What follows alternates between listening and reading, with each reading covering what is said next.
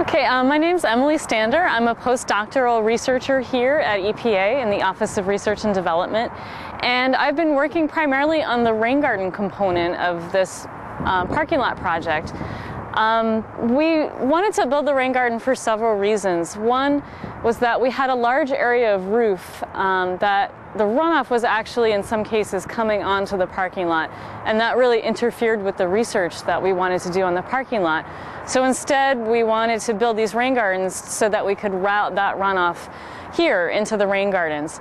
We also have a portion of the parking lot that's impervious. It's sort of our control treatment and we wanted to give the runoff from this part of the parking lot a home. So the rain gardens are able to accept runoff from both the impervious part of the parking lot and also the roof of the building next door.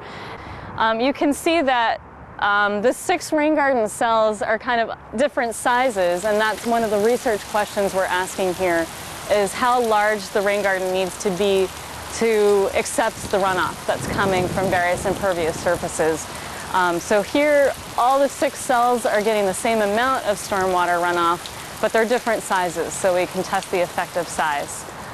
Um, some of the benefits of rain gardens in general um, are that they have this capacity to infiltrate stormwater runoff. And that's in comparison to what would happen in a normal or a traditional system where that runoff would go into a storm drain system and then um, perhaps be conveyed directly to streams. And those huge volumes of stormwater runoff during a storm event um, have a lot of negative consequences for streams. Um, so if you can instead infiltrate that runoff here in the rain gardens, then that, um, that runoff will in infiltrate through the soil and um, go down to the natural soil and down to the groundwater and that will discharge to the stream over a much longer period of time. Um, so it really mimics a natural drainage system um, that you would find in a natural ecosystem. Um, some of the other benefits are that um, not only do the rain gardens um, help with the quantity of stormwater runoff, but they also help improve the quality of stormwater runoff. As stormwater um, runs off of impervious surfaces, it picks up a lot of pollutants um, like nutrients or oil and grease um, and heavy metals. And as that stormwater infiltrates into the rain garden, there are a number of chemical and biological processes that can actually remove those pollutants. Um, also, the rain gardens are very pretty.